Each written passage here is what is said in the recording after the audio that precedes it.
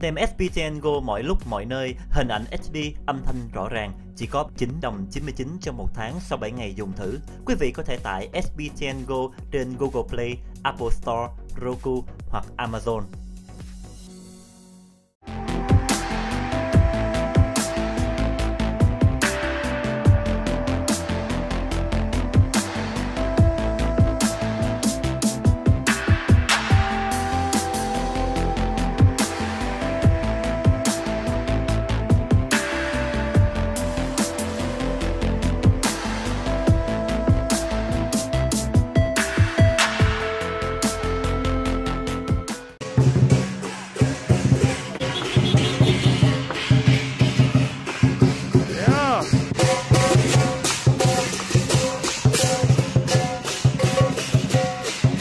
Trường Giang xin kính chào quý vị khán giả của đài VTN. Quý vị, hôm nay Trường Giang đang có mặt tại thành phố Rochester, tiểu bang Massachusetts.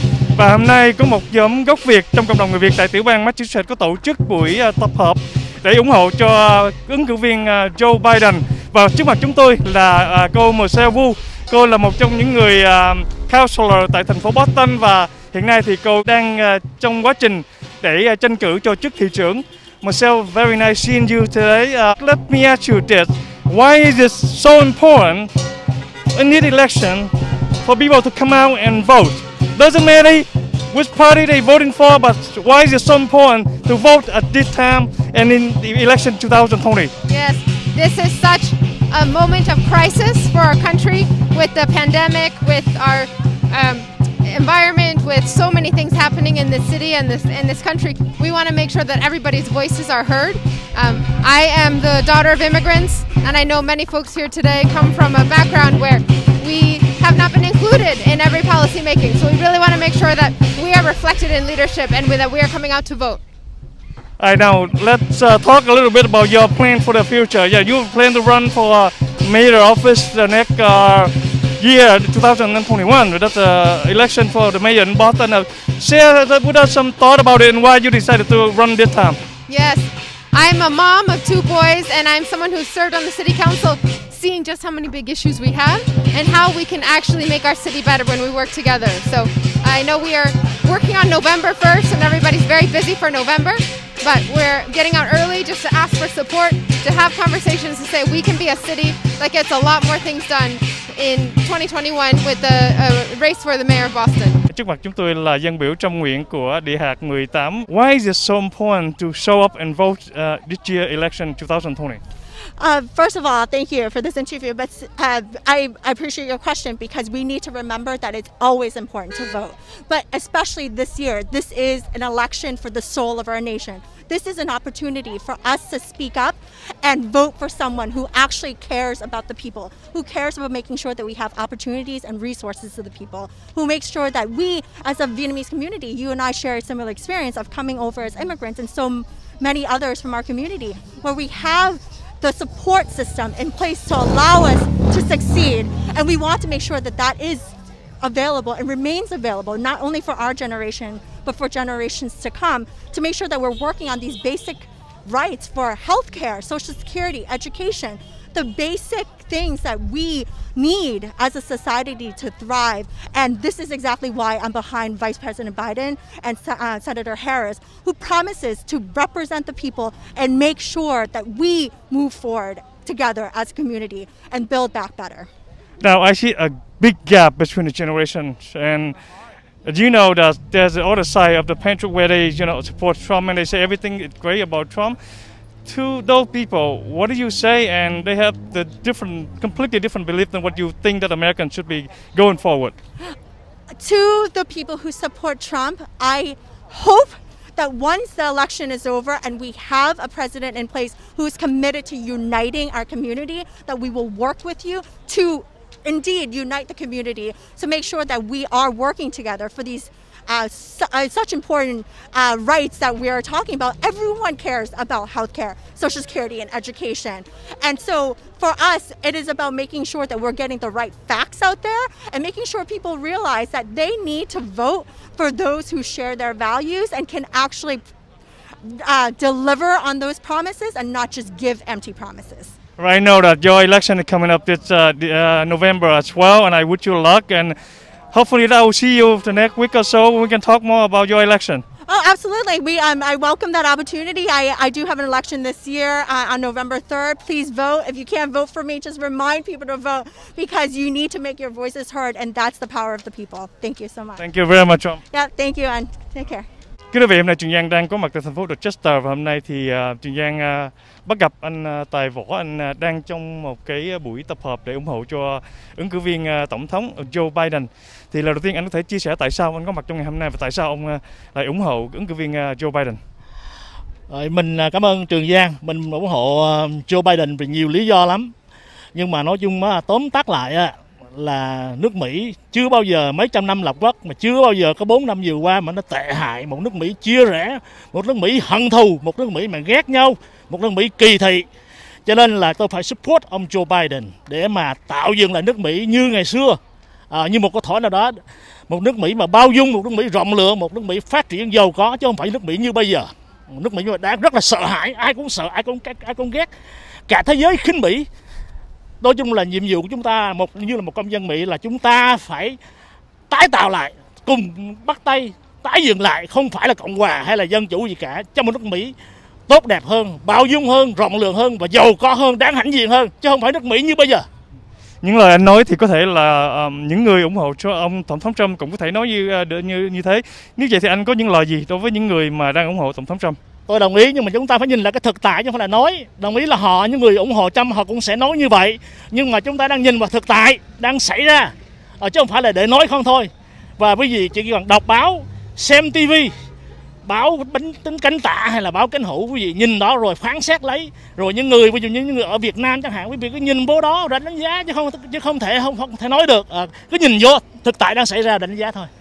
À, cảm ơn anh rất là nhiều. Cảm ơn Trường Giang hôm nay em là người tổ chức cái buổi à, gặp mặt của cộng đồng người Việt tại ở đây để à, ủng hộ cho à, ứng cử viên Joe Biden em có thể cho biết lý do tại sao em tổ chức và tại sao em ủng hộ ứng cử viên Joe Biden Dạ và thưa anh thì và thưa khán giả thì hôm nay em có ba nguyên nhân và ba nguyên nhân nó rất là quan trọng cho cộng đồng mình. Thứ nhất là y tế, thứ nhì là social security và thứ ba là giáo dục.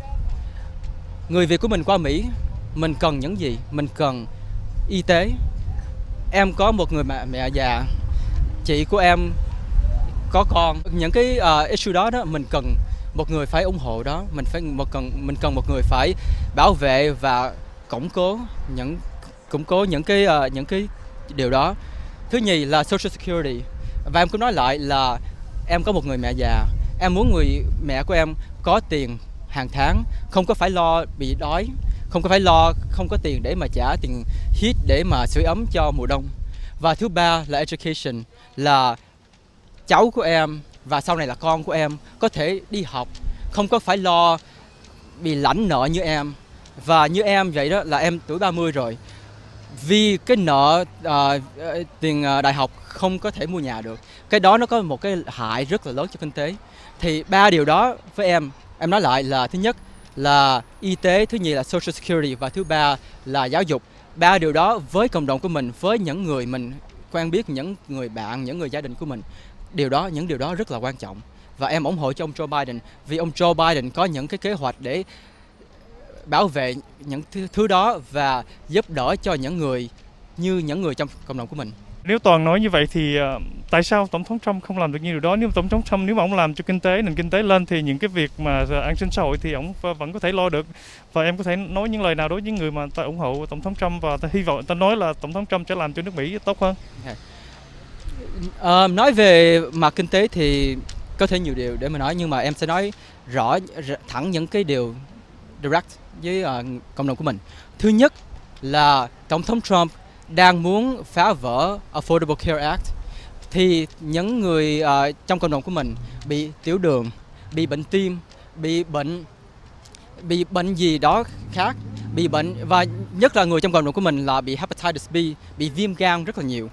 Thì tổng thống Trump bây giờ đang có luật sư ở tại uh, đại pháp viện uh, pháp viện cao nhất của nước Mỹ để uh, để để lấy để gỡ đi cái um, cái luật đó thì để những người có bệnh tiểu đường bệnh tim viêm gan hay những bệnh khác họ không có qualify cho họ không có thể mua được bảo hiểm nữa. Ngược lại Joe Biden sẽ cho một cái public option. Em có một người thầy ở Idaho, ổng qua Mỹ cũng là một thời uh, thời gian cũng là uh, với tuổi cũng hơi cao. Qua Mỹ thì ở Idaho nếu mà ổng ở tiểu bang như là ở Massachusetts của mình, ổng có thể xin vào Obamacare được, nhưng mà không được tại vì những um, thống đốc về bên Cộng hòa không có chấp nhận cái tiền của Obamacare. Cái tiền đó là tiền thuế người ta đã và riêng tiểu bang của Idaho đã đưa vào rồi thì đưa ra lại lại không có chấp nhận.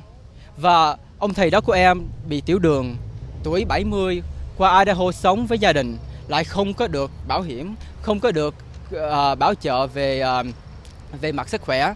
Những cái điều đó em rất là lo.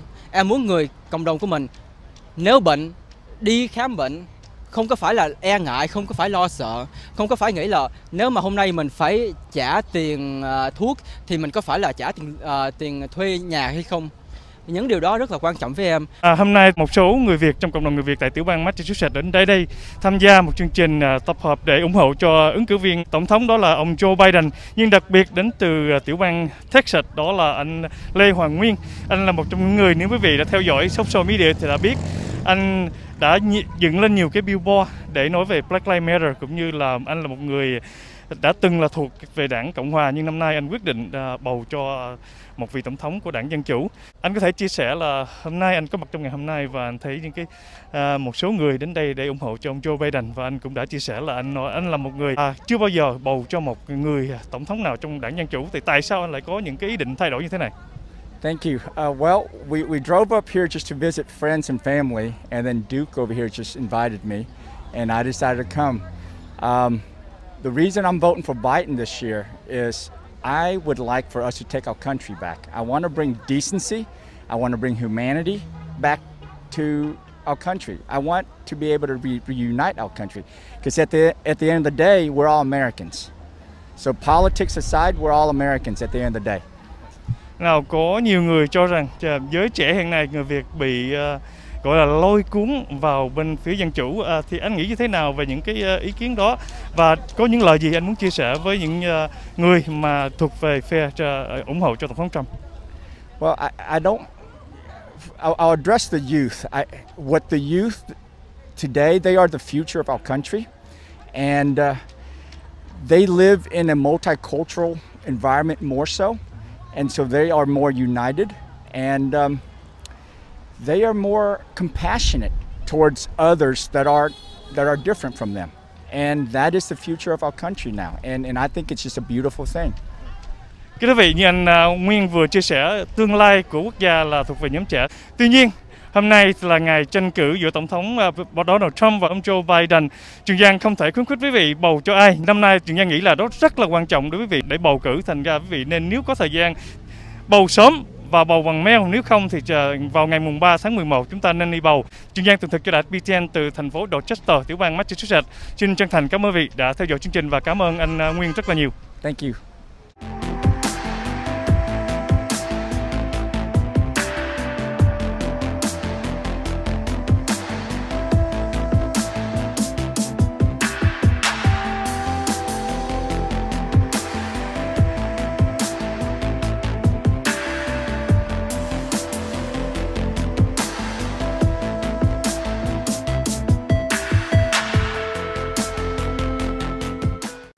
Xem SPTN Go mọi lúc mọi nơi, hình ảnh HD, âm thanh rõ ràng, chỉ có 9 đồng 99 trong một tháng sau 7 ngày dùng thử. Quý vị có thể tải SPTN Go trên Google Play, Apple Store, Roku hoặc Amazon.